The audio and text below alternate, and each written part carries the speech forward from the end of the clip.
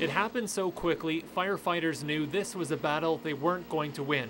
A mobile home in the town of Seven Persons lit up last night, destroying the house and two nearby vehicles. The biggest thing was to, uh, to try to save the surrounding structures, uh, make sure that this fire didn't get uh, more out of control.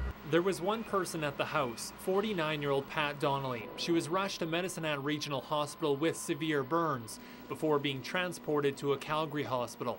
Neighbors say the fire began when Pat went outside and started the barbecue. The ladies from across the street had her over on the lawn. They were putting towels on her and pouring cold water on her until the ambulance got here. One of the firefighters responding to the blaze was Chuck Donnelly, the husband. By the time he arrived, his wife was already on a stretcher.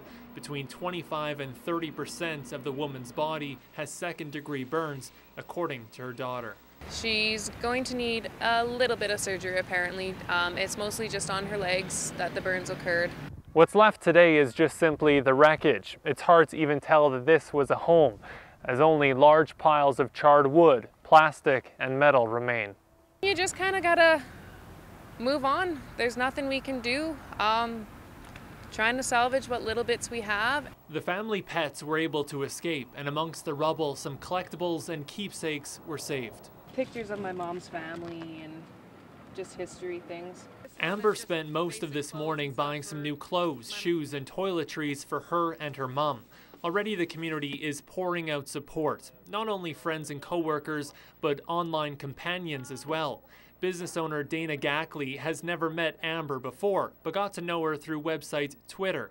Now she and several others are collecting clothes and other donations for the family. There was a group of four of us that were going to meet for coffee for the first time last night. And we just found out from her directly that she couldn't make it because her house was on fire. Investigators say it will likely take a few more days until they know the exact cause of the blaze. Kyle Bax, CHAT News.